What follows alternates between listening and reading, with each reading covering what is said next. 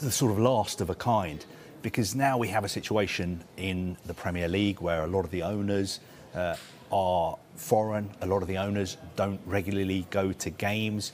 A lot of the owners may be buying clubs for financial reasons rather than emotional reasons.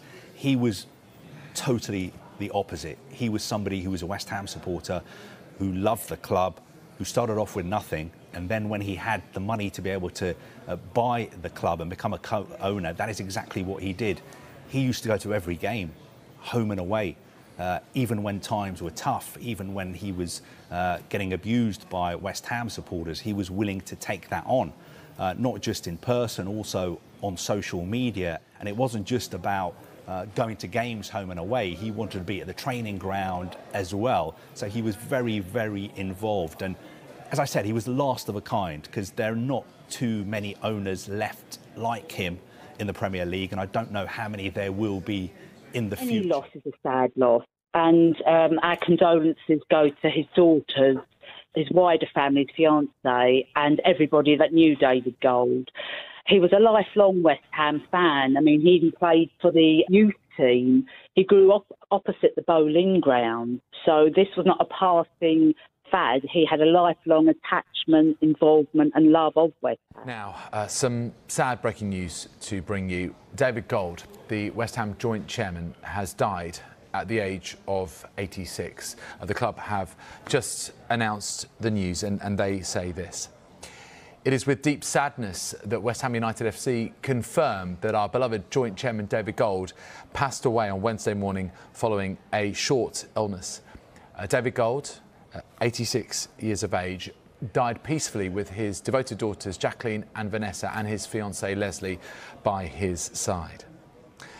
A lifelong and ardent West Ham United fan, uh, David Gold was born in Stepney in September 1936 and grew up at 442 Green Street, directly opposite the Boleyn ground, West Ham's former ground before they moved to the London Stadium.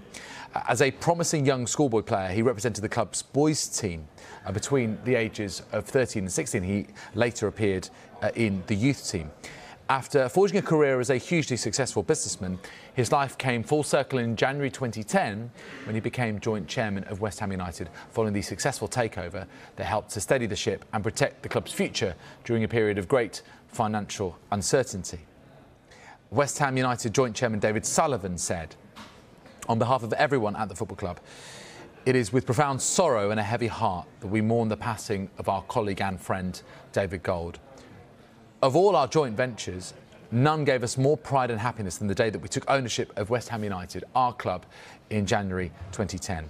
Uh, Dave had had a, a long-standing connection with the Hammers, having grown up opposite the Boleyn ground in Green Street and represented the club at junior level. He always wanted what was best for West Ham United, and his passing is a great loss for all of us.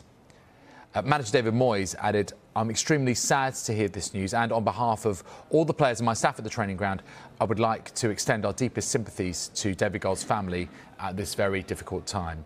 Uh, Mr. Gold was a regular visitor to Rush Green. Uh, the training ground was also a source of great support and encouragement to myself and the players. It was clear that he had a genuine and sincere love for the club and was a true supporter at heart.